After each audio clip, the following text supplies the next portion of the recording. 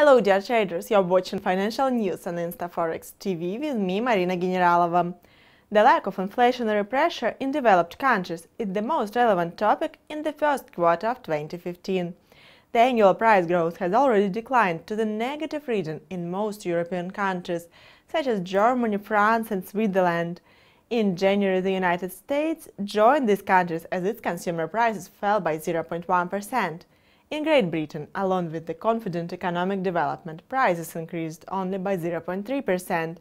Japanese indicators do not seem to be so critical against the situation in the mentioned countries.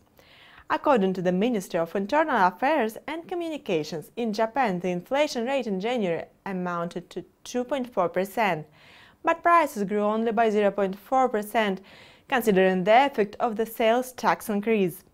Excluding food prices, price growth slowed down to 2.2%, which actually means price hike only by 0.2%. The Bank of Japan promised to raise the indicator to 2% by February. However, falling oil prices explain unfulfilled plans of the central bank.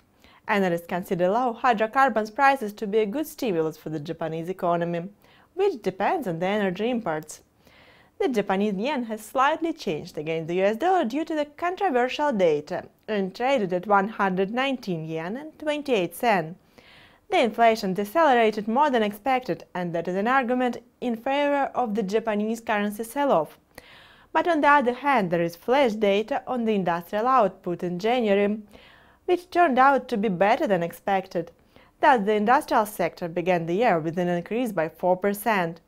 If these positive tendencies remain in future, there is a hope that the Japanese economy will manage to accelerate its growth and the central bank will not have to extend the stimulus program.